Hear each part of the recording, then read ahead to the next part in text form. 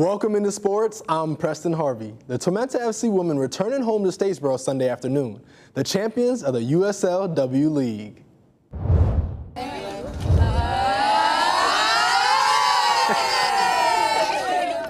Tormenta returning to Statesboro with some new hardware.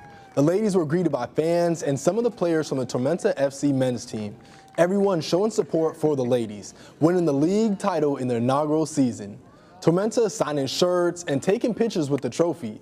This is a one-in-a-kind feeling for the team. I'm speechless, but I'm not surprised. I kind of I knew we were going to do it. Seeing the team and how well we play, and then meeting Jim, an absolute incredible coach, I knew we were made for greatness. I was so excited when the buzzer went. Everyone like started to freeze, and we were like, "Wait, did we just win this in front of 7,000 people?" It was just like a dream that came true. It means a lot. Statesboro is small, and um, by winning this title, it shows like how a small town has like so much potential, and it's gonna grow a lot.